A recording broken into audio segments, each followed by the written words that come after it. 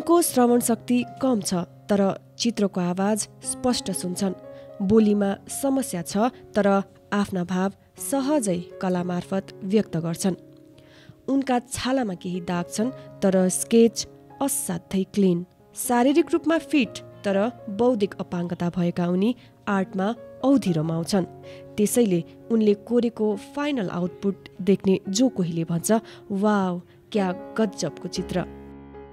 वात्सल्य natural IVF आधुनिक चिकित्सा उच्च सफलता दर अन्तर्राष्ट्रिय स्तरको उपचारद्वारा सन्तान प्राप्ति सम्भव छ। पढाइको अलावा चित्र कोर्न औधी रुचाउँछन् बिस वर्षीय युवा क्षितिज बानिया। भाग्यले ठगिएर उनी जन्मजात बौद्धिक अपाङ्ग छन्।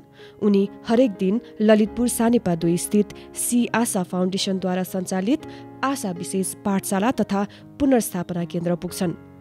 नुवाकोट घर भई सामा खुसी बस्दै आएका उनलाई फाउन्डेसनकै भ्यानले स्कुल आउजाउमा सघाउँछ। कतिपयले व्यक्तिको बौद्धिकता भन्दा पनि उसको शरीरको हावभावमा बढ्ता ध्यान दिन्छन्। यो कुरा छित्तिसले पनि राम्रोसँग हेक्का राखेका छन्। मैले बोलेको अरूले नबुझिदिने हो कि? मलाई हेप्ने जिस्काउने पो हुन् कि? नयाँ मान्छे भेट्दा नयाँ ठाउँ जाँदा उनका मनले यस्तै यस्तै विभिन्न प्रश्न केलाउँछन्। त्यसैले त उनी अन्जान व्यक्तिसँग खासै खुल्दैनन् नजिक नै पर्दैनन्। रातोपाटीले उनीसँग कुरा गर्न खोज्दा पनि उनी खासै खोल्न चाहेनन्।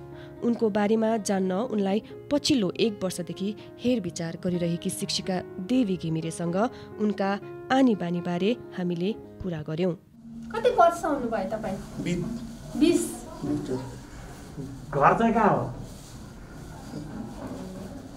घर।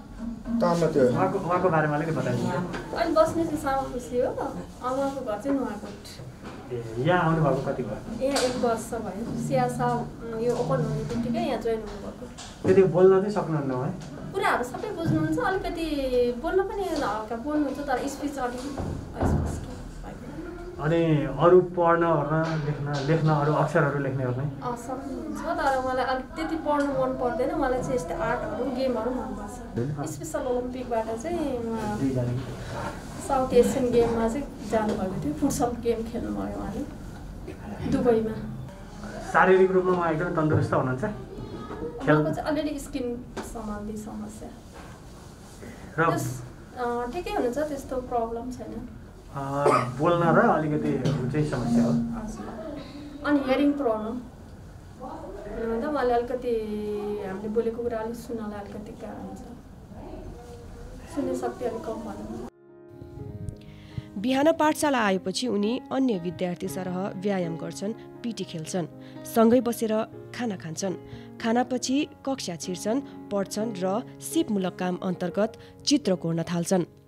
उनले विशेषतः नेपाल झल्काउने चित्र बनाउँछन्। पहाड गाउँले परिवेशका घर नेपाली आमा कुमारी कार्टुनका क्यारेक्टर लगायत व्यक्तिको स्केच समेत दुरुस्तै उतार्छन्। कसैले परिकल्पना गर्नै सक्दैन कि यो कुनै बौद्धिक अपाङ्गले कोरेका चित्र हुन्। कुन चित्र बनाउन कस्ता रङ चाहिन्छ? कस्ता पेन्सिलको आवश्यकता पर्छ। त्यो त्यहाँका शिक्षिकाहरूलाई पनि थाहा हुँदैन। उनी आफैले इन्टरनेटमा सर्च गर्छन् र आफूलाई चाहिने सूची तयार पार्छन्। नेपालमा आफूले भने जस्तो राम्रो गुणस्तरको रङ नपाएको गुनासो उनी शिक्षिकाहरूसँग गर्छन्। त्यसो त क्षितिज आर्ट बाहेक खेलमा पनि रुचि राख्छन्।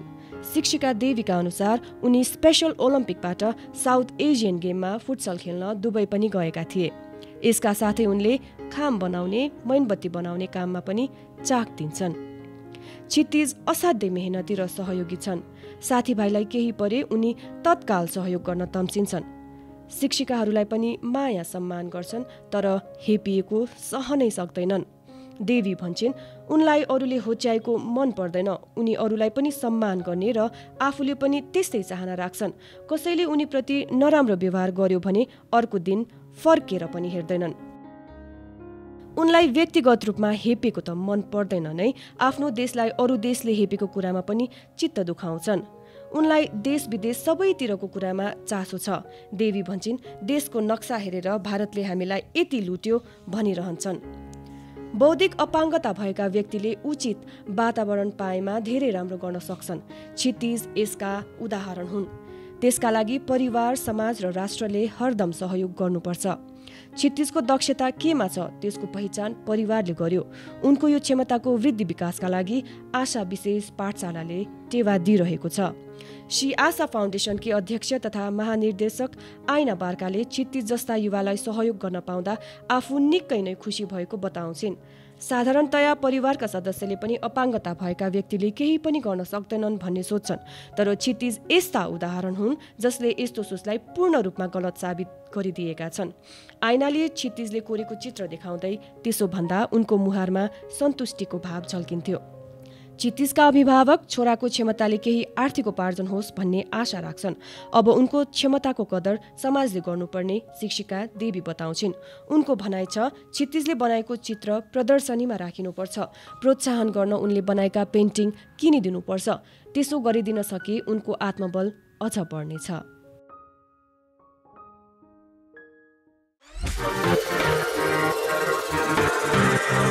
Thank you.